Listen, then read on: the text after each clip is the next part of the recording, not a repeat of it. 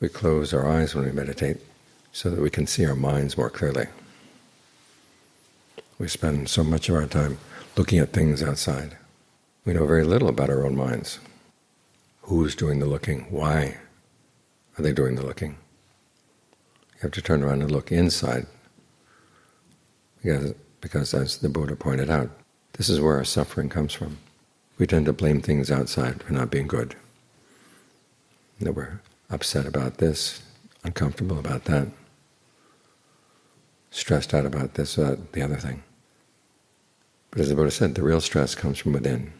There's nothing coming out of the mind. The things of the world can't touch you. The problem is we're trying to feed off of the world, find our happiness out there.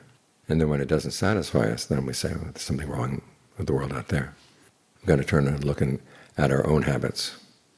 We're looking for happiness in the wrong place. So turn around and look inside. Start with your breath.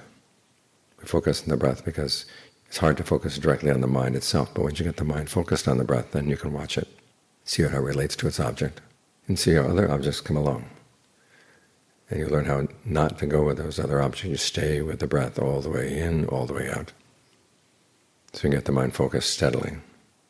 You can see the breath continually, you can see your mind continually. It's when you see things continually that you can understand the whole story. Otherwise it's like opening a book and reading a page here and then going back and reading a page there, and then going forward, reading another page someplace else. You get some idea what's going on in the book, but there's so much that you miss that way. You have to read the book from start to finish. The same way you have to read your mind from start to finish. When you do something, when you have an intention, what kind of intention do you have? Good, bad? Do you expect any harm to come from it? If you do, don't do it. If you don't expect any harm, then you're going to do the next step, which is to actually do the action. But while you're doing the action, you keep watch over the results, because sometimes results come out right away. And if you notice that you actually did harm somebody, even though you didn't mean to, then you stop. You don't just say, well, my intentions were good, and keep riding with your good intentions. They may be good, but they're not skillful. So drop the action. If there's no harm, keep on doing it until you're done. Then when it's done, you look at the long-term results. And again, if it turned out that it did end up causing harm, well, you've learned something. You make up your mind you're not going to repeat that mistake. If it didn't cause any harm, then you take joy in the fact that you're getting better at the training. So you learn how to see things from start to finish. That's when you understand them, and that's when you can make intervention when you have to. And as the Buddha said, try to act only on your best intentions. Because when you act on your best intentions, that's when you learn. If you start out with an intention you know isn't good and you get bad results, well, what did you expect? It's when you act on your best intentions and you find they're still not good enough. Then you've learned. It stretches you. You grow.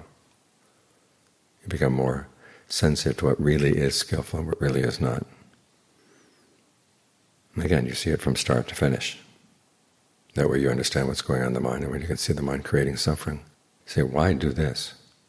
You have other choices. Some people have habits that are ingrained and they can't imagine anything else. This is why we have the teachings, to help you imagine other things, other ways of engaging in the world that don't cause anybody any suffering. So we take the Buddha seriously. When he said, for example, for example, not to break the precepts, he really meant it. When he said that you benefit from finding happiness inside through concentration, he really meant it. Because you really learn by following these instructions. So pay him careful attention. Give him the benefit of the doubt. And as you said, you'll, you'll see what happens. You'll be able to prove things for yourself that way. But to know what's going on, you, you have to watch from start to finish. Start with your intentions, look at the results, and then try to take that knowledge and plow it back in so your intentions get better and better, and see if the results get better and better too.